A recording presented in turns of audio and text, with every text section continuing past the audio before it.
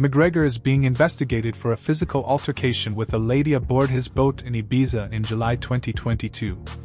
According to the story, the alleged victim was aboard McGregor's yacht following his birthday celebration at Ocean Beach Club in Ibiza on July 16. She claimed to know McGregor because they both grew up in the same Dublin neighborhood. She said in her statement that she went to McGregor's boat with him and others after drinking in the club's VIP section with them.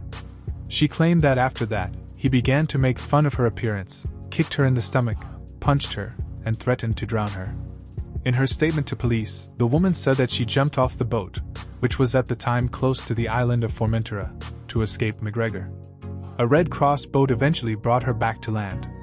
According to a different report from Spain's Ultima Hora, the alleged victim first claimed that McGregor had assaulted her, but when Spain's civil guard officers questioned her, she refused to name McGregor as the perpetrator and said that she only wanted to go back to Ireland.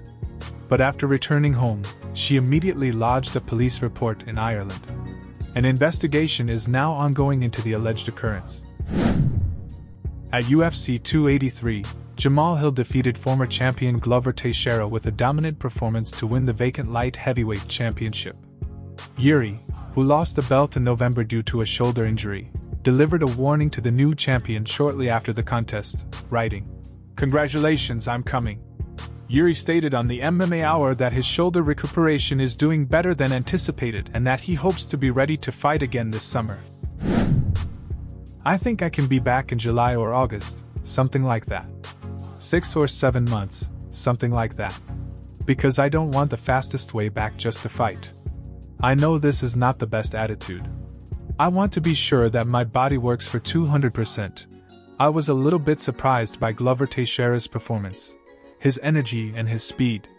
He was so slow. He was a little bit slow. Amazing work from Jamal, he did everything right. So congratulations to him, and I'm looking forward for him.